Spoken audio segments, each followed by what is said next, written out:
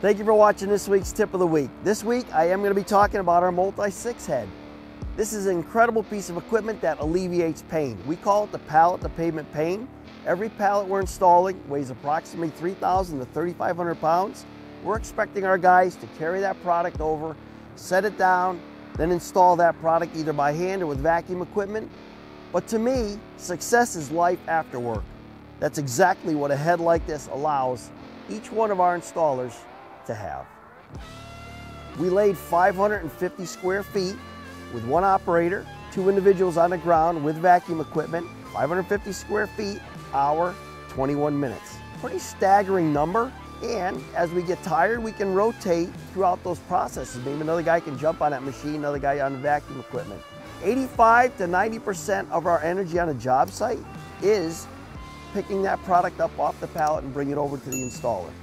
This tool eliminates all that pain and actually takes a job that's grueling, all of a sudden it's fun.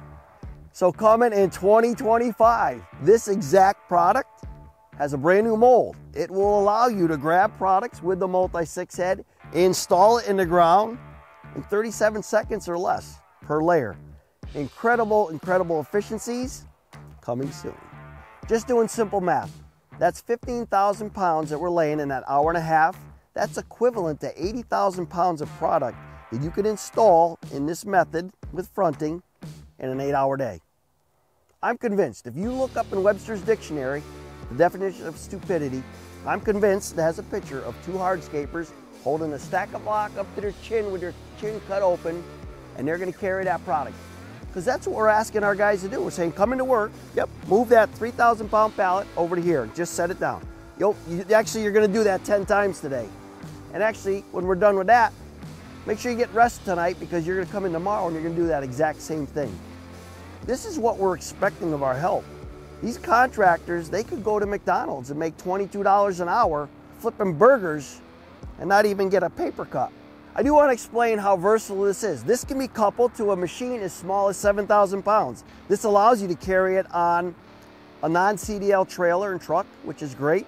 It also can be placed in the back of your pickup, brought to any job site. There's probably a fair amount of you right now that are saying, yeah, but how much does that cost? That's a great question because we all want to be wise with our finances. This particular head costs $23,000. It's going to last you for 10 years. That's $2,300 a year coupled to your existing excavator. Our average employee is generally going out the door, what I'm hearing, $60,000 plus by the time you add labor burden. So is it expensive? I would beg to differ. If you've liked this video, make sure to subscribe. This allows us to continue making good content like this that hopefully can improve our industry. We appreciate you watching. If you want to see more content on the Multi-6 and some of the financial side, click here. See you next week. You can sign up for our tip of the week here. Or you can watch more of our videos here. You can subscribe to our YouTube channel here. And make sure you shop our products at pavetool.com. If you're located in Canada, you can shop at pavetool.ca. Have a great weekend. Thanks for watching. Looking forward to seeing you next Friday.